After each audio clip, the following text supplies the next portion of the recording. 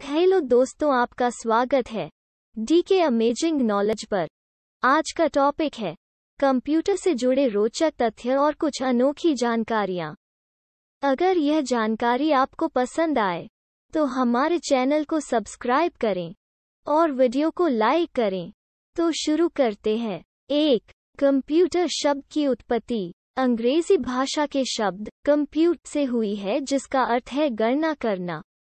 दो।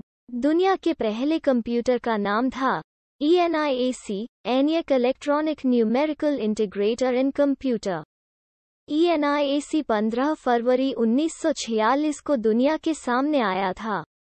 तीन।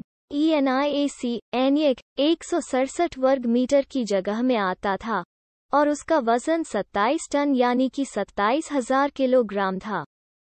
चार। कंप्यूटर का पितामह चार्ल्स बेबेज को कहा जाता है। पाँच, दुनिया का सिर्फ़ 10 प्रतिशत पैसा ही भौतिक रूप में है, जबकि बाकी के धन का रख रखाव कंप्यूटर्स द्वारा किया जाता है। छह, भारत में निर्मित पहला कंप्यूटर सिद्धार्थ है।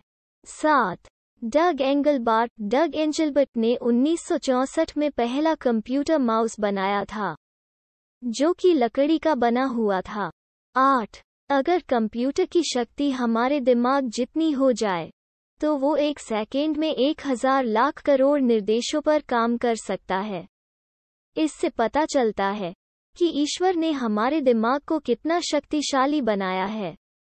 नौ। एक औसत इंसान एक मिनट में बारह बार पलक झपकता है, पर यदि वो कंप्यूटर पर काम कर रहा हो तो एक मिनट में सिर्फ़ छह बार पल के झपकेगा। दस।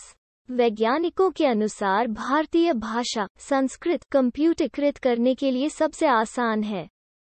ग्यारह। सबसे पहली हार्ड डिस्क 1979 में बनाई गई थी, जो कि सिर्फ़ पाँच मेगाबाइट डाटा ही होल्ड कर सकती थी।